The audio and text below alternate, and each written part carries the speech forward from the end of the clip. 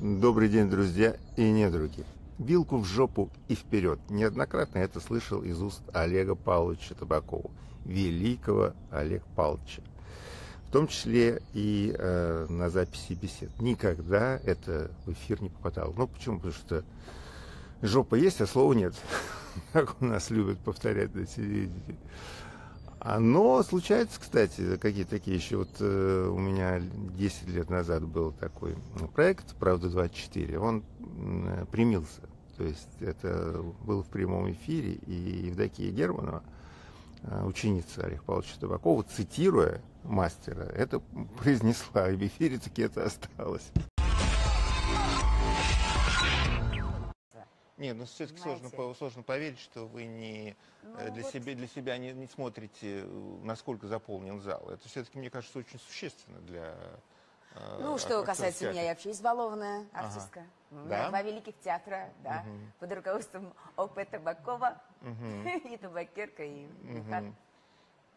Чем что- отличие вашей нынешней площадки от великих площадок вами упомянутых? По сути, никакого нет. Вот я еще больше и больше убеждаюсь, никакого нет отличия в процессе игры, в процессе общения, взаимообщения и вообще сотворчества. Потому что э, вот история фантастическая, веселая, и люди в интерпризе вообще собираются тоже не, не только ради заработка, понимаете, а чтобы еще раз. Этот адреналин, как говорил Табаков, вилку, руку и вперед. Не политкорректно, но без злого умысла. Иронично, но без сарказма. Пристрастно, но по-честному.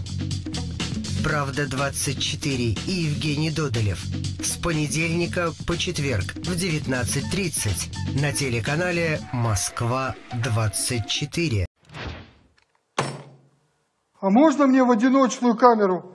А то я эту поговорку про вилку и жопу все никак запомнить не могу. В жопу глаз или вилкой раз? Нет, наоборот. А, вилкой в жопу?